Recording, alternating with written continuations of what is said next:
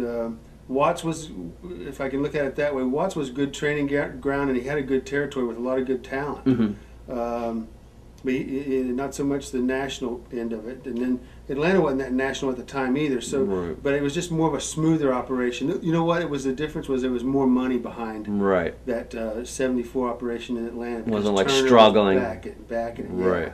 So things started to like it looked more professional. What was Watts like though back? Was He he, was was, he like at what everybody says he is? Yeah, he was pretty hardcore. You know, he was. You know, he he was Leroy McGuirk's right hand man. Right. And then when you know, then he took over from Leroy, and and he run a hard ship. You know, I mean, he The travel was the travel shit. was horrible. He had no heart. The man did, obviously didn't have a heart because he, he would we would drive from Oklahoma City to New Orleans Yeah. all night long, and then we'd drive from New Orleans on a Monday night to be in Monroe on Tuesday and hadn't slept, and then we'd drive to Jackson on Wednesday and Thursday. Who knows? Like- we traveled so much, hundred to hundred thousand miles. Yeah, like I know Jack Victory pretty well. He's like, yeah, three cars, twenty seven hundred miles a week, Oh, every yeah. week. It And you know, what are you making? You know, I mean, we were relatively almost on top. When I say almost on top, we were in the middle to on top. semifinal. Yeah, and you know what? Eight hundred a week. You know, Well, for, it's not worth it for all that. and Again, you're when you think spending a fortune in motel rooms and gas and car and. But you know what? You had to do that. Back then, wasn't it like everybody? It's like eight months. You'd Yeah, leave. eight months to a year. You know, you get beat so many times. Unlike here, like like these days, you go somewhere and either you get fired and people stick around. There, you will, it was commonplace to always stay at least a year and then go somewhere else. Then go for the- somewhere else. Right. as a fresh face. Mhm. And I went back to Oklahoma. I don't know, What was I thinking? I went back and Back to hell? Watts. Did it change or nah? no, Same. It was pretty rough. It wasn't as bad. It wasn't as bad, but it was still bad. It was still rough. Mhm. Orndorff was on the scene then, because I remember Paul and I was in Oklahoma, and Jake the Snake was getting started. Was there. that when JYD was starting to get, or JYD was getting his real big, huge Mhm. push? Freebirds were in. Was Hate? They weren't in yet. They weren't in yet, I don't think. I don't So think this is before like New Orleans, the Superdome, all that. A little Yeah, before that. Yeah, a little before that, because in New Orleans we used to wrestle downtown. at the at auditorium. Mhm. Yeah, which was rough.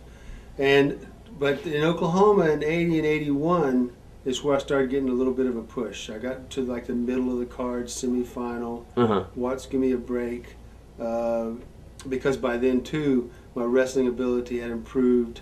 My psychology was always kind of there, but it was honed and tuned up because of the years, eight years on the road prior as a manager, and then the Florida experience and the Carolina experience, and watching great talent. Got to Oklahoma, put put interjected that in there, and it was start. I start to see stuff come around. You know, Mhm. I could I could with confidence walk out and and do a, a semifinal match or Right. you know middle of the card match. The, uh, your late, latest days, like in uh, WCW, they brought in Watts. Oh yeah. How was that like? Terrible. And I knew Watts since I was a kid. I busted my butt for him. And you know, they put us on that pay per view or something one time, our TV show, pay per view, with two Mexican guys. Uh-huh. They couldn't speak a word of English. they told them one thing uh-huh. to do and told us another. Real- Okay? Was that that Starcade or something? I yeah, think it was a big show. in St. Louis. I think that tag show. tournament. Yeah. I think so. and it was horrible match. I mean, Hayes and I would have to. I mean, we've been we we've been totally drunk out of our mind and had great matches. right. We were sober that night, and it was a stinkeroo Right. because we had two guys that didn't know nothing about the English language, and they were told by the office one thing, and we was told another. And let me just back up another thing about an embarrassing moment. You remember the pay per view that we did where Michael and I did the live singing? You know, I we had the so. rock and roll band Right. thing going, Mhm. which was like hilarious. Mhm. Everybody knew it was just a, it was hilarious. Right. I thought anyway. We Michael and I thought it was hilarious. I don't know if the rest of the country did or not, but remember we were supposed to. They had the the fireworks went off and we had the mics and we're going to sing that song that we wrote on the way to the ring. It was on some pay per view. Right. Huge, huge pay per view. Uh-huh. The mic switch was off. So when we were, the music was playing, but nothing was coming out, oh boy. and we couldn't hear the music. R- Uh, So In just- the truck, right.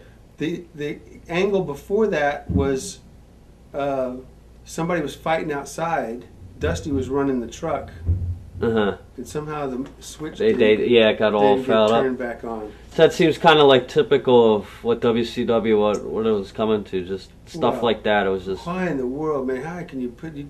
How can you put us in that position? right. You're setting us up. You put us in a position.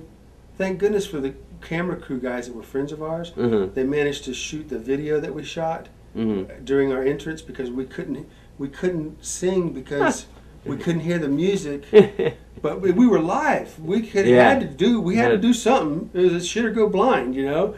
It was a very awkward position to be in, and um, it was like when we did the thing to raise the money at uh, at um, Center Stage at Christmas time for the kids. We did the concert. Mhm. Hayes and I did. Mhm. I mean, could we sing? Hell no. No. No. Could we play anything? No. Nope. But we tried to make it entertaining. We had a really good band, and we just everybody knew we were just jacking Just around, having man. fun. We were just we said we sold out whole European tour. Never- they knew we were bullshit. You Right. know? Right. It was a it was a gimmick. Well, but the thing of it was though that was serious that we were going to do this to raise money, to raise food for the For- yeah. children and for the homeless at Christmas time. Mm, right. Do you know how much backing and support and and plugs we got from Probably not too many. We got nothing. yeah. We got nothing. We didn't get one plug saying, "Hey, by the way, if you want to go have a hoot and help the homeless or help the kids, Go see Hayes and bring Garvin. some cans of food Right. because Garvin and Hayes are going to really make a fool of themselves at center stage on Friday night. Right. But bring some food. Right. That that's that's the support that we got.